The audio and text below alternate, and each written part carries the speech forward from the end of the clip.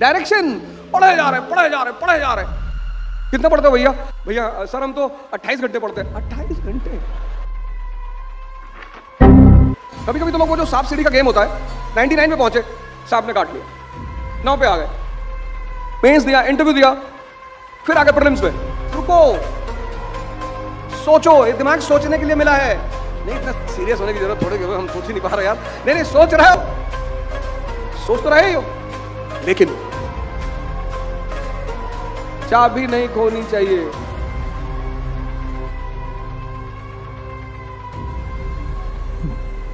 जय हिंद फ्रेंड्स।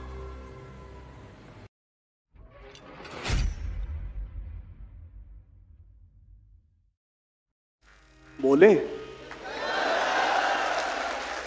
जय हिंद फ्रेंड्स। तीन दोस्त दुबई में छुट्टी मनाने गए।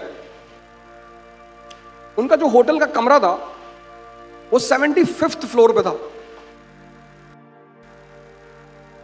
मंजिल। तो जब शाम को घूम कर आए तो लिफ्ट खराब थी।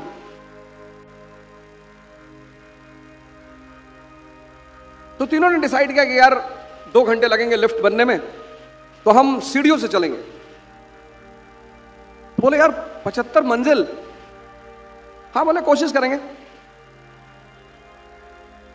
तो एक ने क्या किया? चुटकुला सुना शुरू किया। अब चुटकुला आदमी सुनेगा तो हंसेगा हंसेगा तो एनर्जी पैदा होगी। चुटकुला सुनते सुनते वो 25 मंजिल तक पहुँच गए। चुटकुला सुनते सुनते यानी जितना भी सर है लंबा सफ़र है। एकेडमिक एग्ज़ाम और सिविल सर्विस के एग्ज़ाम में जो सबसे बड़ा अंतर है वो ये है कि जब एकेडमिक एग्ज़ाम की शेड्यूल आता है तो हम सबसे पहले क्या देखते हैं? कि लास्ट पेपर कब है? है ना? एकेडमिक एग्ज़ाम का जब शेड्यूल आता है एग्ज़ाम लिस्ट आती है तो हम सबसे पहले ये देखते हैं, यार लास्ट पेपर कब है? लास्ट तो पता चला कि लास्ट पेपर है फिफ्थ ऑफ़ जुलाई तो मन तुरंत एक बात कहता है कि पाँच जुलाई के बाद मज़ा आएगा।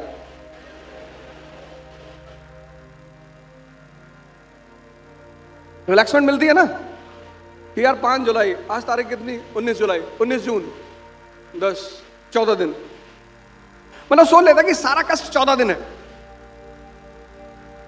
बस पाँच जुलाई का वेट करता रहता कि पाँच जुलाई आ जाए। पाँच जुलाई के बाद मज़ा आएगा। मज़ा उसे कभी नहीं आएगा। लेकिन उसके मन में एक साइकोलॉजी बन जाती है कि यार, पाँच जुलाई के बाद एग्ज़ाम खत्म लेकिन यूपीएससी सिविल सर्विस इसकी लास्ट डेट की एग्ज़ाम नहीं पता। कभी कभी तो लोग वो जो सांप सीढ़ी का गेम होता है। 99 पे पहुँचे सांप ने काट लिया।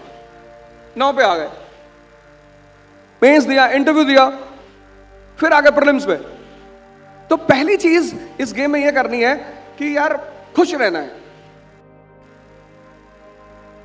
पच्चीस मंजिल चढ़ गए। चुटकुला सुनते सुनते।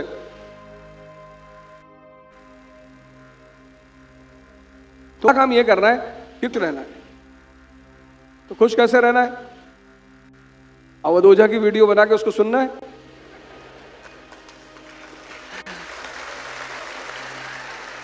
नहीं नहीं, आप अपनी तरह से खुश रहिए। मैंने कहा मेन चीज़ है खुश रहना, जो उन्होंने कहा डिमांड सलमान साहब ने कहा डिमांड बता करी। फिर अगले 25 मंजिल तक दूसरा दोस्त कहानियाँ सुनाता रहा। 50 मंजिल चले गए। कहानियाँ किसकी? अंबेडकर की, गांधी की। ये आपको सुनानी है आपस में। आप एक दूसरे को मोटिवेट करने के बजाय आप एक दूसरे को डराते हो।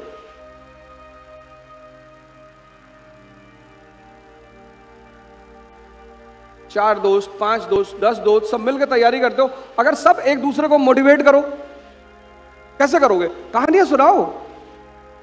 कहानी वो नहीं कि तिवारी जी की लड़की भाग गई, वो सब कहानी नहीं सुनानी। ये उल्टी सीधी कहानियाँ नहीं सुनानी है तुम उल्टी सीधी कहानियाँ सुनाते हो।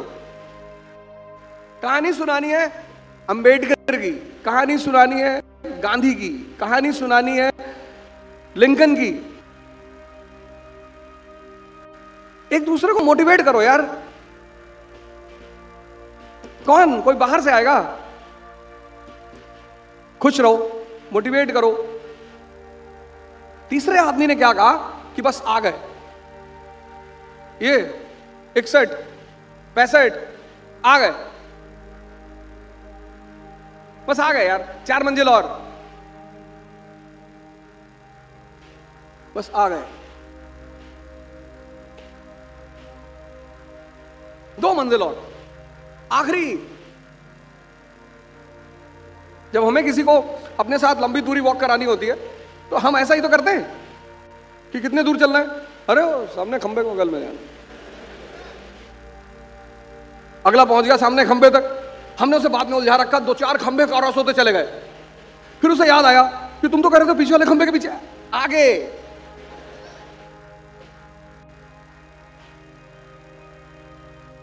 ये वाला ये वाला, वो जो आदमी का कंकाल बना हुआ है।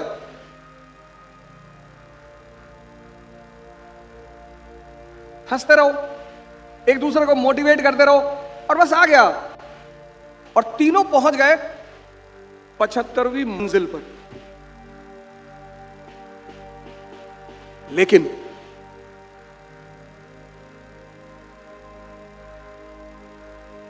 तीनों पहुँच गए। पचहत्तरवीं मंजिल पर तीनों पहुँच गए। पर कमरे की चाबी कार में भूल गए।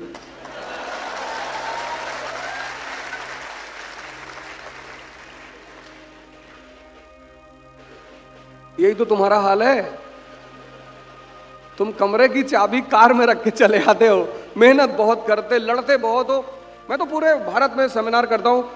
मैंने यूपी, कानपुर, इलाहाबाद, लखनऊ यहाँ के लड़कों जितना मेहनत करने वाले लड़के नहीं देखे।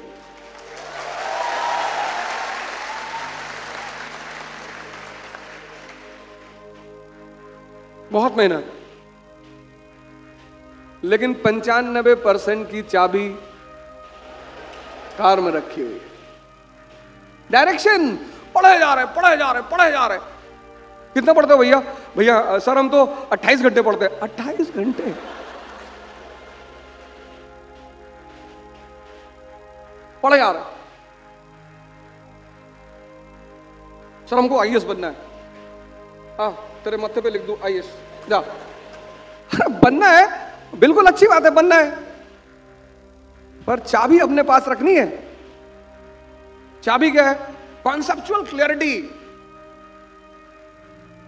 conceptual clarity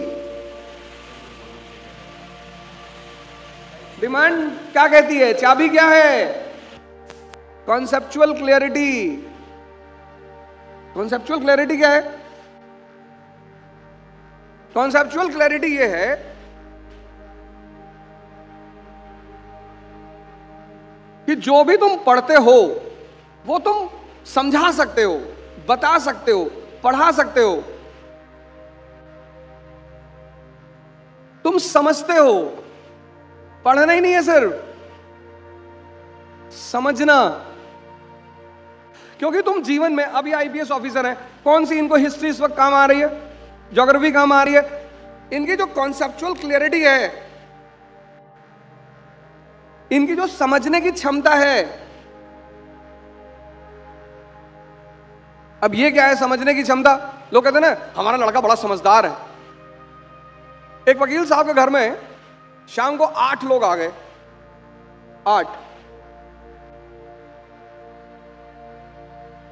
आठ लोग आ गए। तो ये हुआ कि भाई अब यहीं रुकेंगे। तो उन्होंने अपनी वाइफ से कहा, चाय बनाओ। श्रीमती जी चली गई चाय बनाने। चाय बनाने गई तो उनको पता चला कि चीनी नहीं है।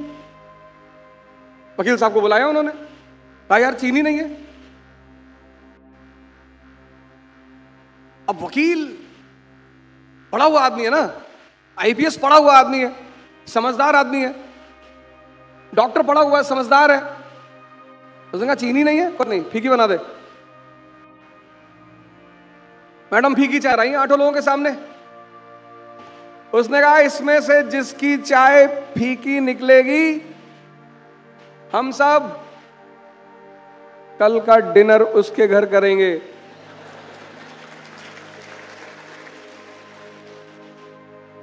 सबने चाय पी।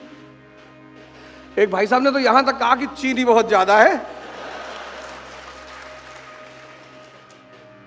यह है समझदारी का विकास। तो चाबी क्या है? कॉन्सेप्चुअल। पहली चाबी है कॉन्सेप्चुअल।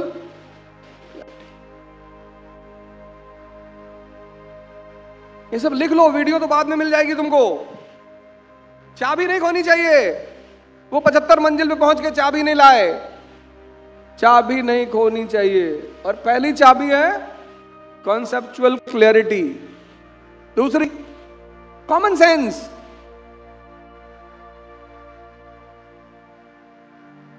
चार जुआरी पकड़े गए, जुआ खेलते हुए। सलमान साहब ने पकड़ लिया। जज के सामने ले गए। पहला जुआरी मेडिकल सर्टिफिकेट लेके आया कि साहब साहब उस दिन मैं अस्पताल में था, साहब। साहब, ये मेडिकल सर्टिफिकेट से। दूसरा, ट्रेन की टिकट लेकर आया। कि सर, मैं तो शहर में था ही नहीं, सर। तीसरा, अपने ऑफ़िस की अटेंडेंस रजिस्टर लेकर आया कि साहब, ये अटेंडेंस लगी है, साहब। हम तो साहब काम कर रहे थे, साहब।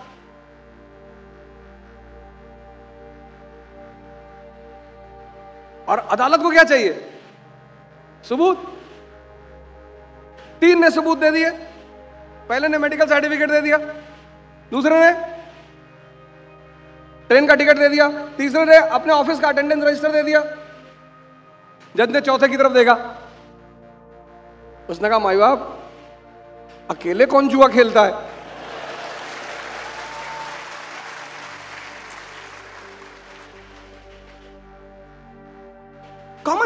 करो यार। परेशान हो तुम। इतना तुमने अपने इस चीज़ को कूड़ेदान बना रखा, कूड़ेदान।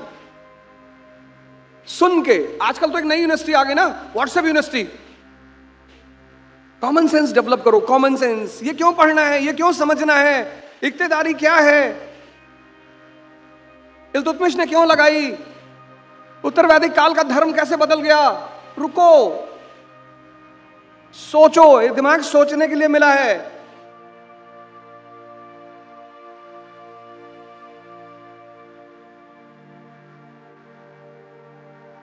नहीं, इतना सीरियस होने की ज़रूरत थोड़े हम सोच ही नहीं पा रहे यार। नहीं नहीं, सोच रहे हो। सोच तो रहे हो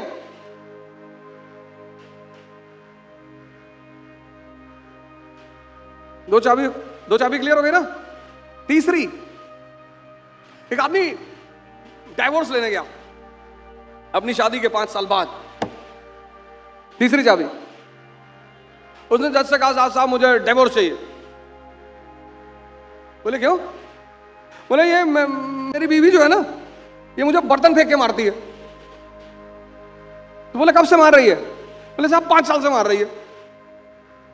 तो बोले अब डाइवोर्स लेने आए बोले, अब इसका निशाना लगता है तो तीसरी चाबी क्या है? प्रैक्टिस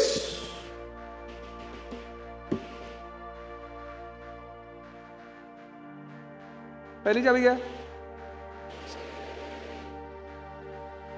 कॉन्सेप्ट दूसरी चाबी? कॉमन सेंस सोचो यार. Practice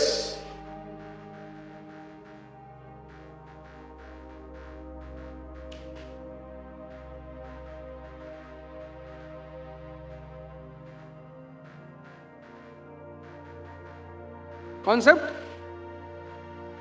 common sense practice अब सबसे अंतिम चाबी, चौथी। तीन चाबी क्लियर चौथी चाबी जो है फोर्थ क्या? तुम छोटे थे, स्कूल जाते थे, होमवर्क करते थे ना? क्यों? डर की वजह से। कि मैडम, उठा के सो, पटक देगी, उठा और कितने भी बहाने बनाओ, कितने भी। मैडम, वो दर्द हो रहा था मैडम इससे कर लेते। मैडम, इससे लिख नहीं पाते। मुँह से पकड़ के लिख देता आंसर। मैडम मैडम तो कुछ सुनती नहीं थी बचपन में। तो चौथी चाबी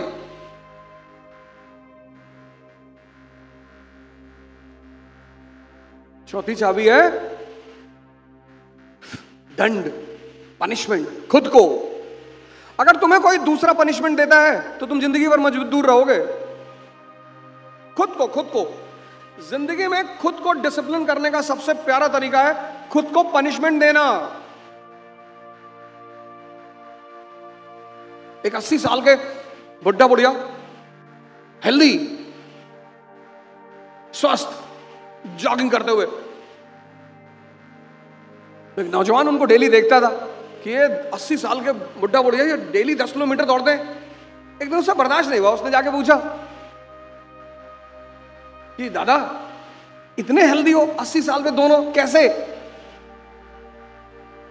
बोले, बेटा, जब हमारी शादी हुई तो हमने डिसाइड किया कि जब भी झगड़ा होगा और जिसकी भी गलती होगी, वो पाँच किलोमीटर वॉक करेगा।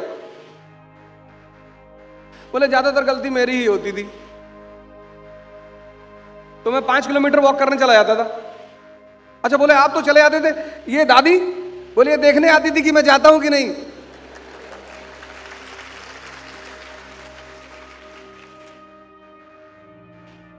पचहत्तर मंजिल पर पहुंचकर चाबी तुम्हारे पास होनी चाहिए? नहीं?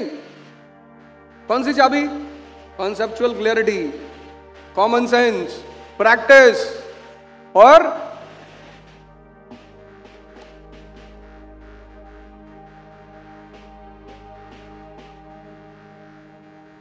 और क्या बोले? बस हो गया।